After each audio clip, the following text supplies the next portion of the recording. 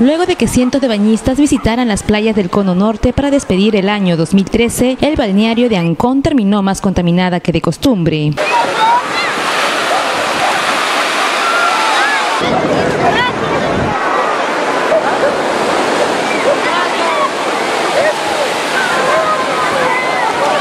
Desde botellas flotando en el mar hasta bolsas de basura y platos descartables se encontraron en las orillas de nuestro litoral, por lo que los veraneantes que decidieron continuar disfrutando del sol tuvieron que lidiar con este panorama. Ya es cultura de las mismas personas que lo visitan, ¿no? Este, falta paneles de información acá en el balneario eh, por parte de la municipalidad con letras visibles al alcance de los adultos, los niños.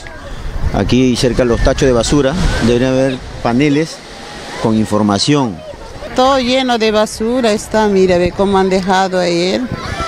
Yo pienso que no, no deben venir acá gente comer, estar acá y dejar basura. Por su parte, algunos bañistas señalaron que debido a la cercanía de sus viviendas no se animaban a ir a una playa más limpia. Vivimos cerca, pues estamos viendo por acá, como somos de paseo, no más de viaje.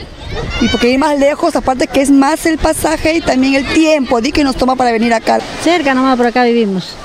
Quizás por lo que es barato venimos también, porque lejos también mucho se gasta pasaje. Cabe mencionar que como parte de la campaña Playa Saludable 2014, la Dirección General de Salud Ambiental, DIGESA, informó que son 91 las playas saludables, 17 las regularmente saludables y 5 las no saludables a nivel nacional.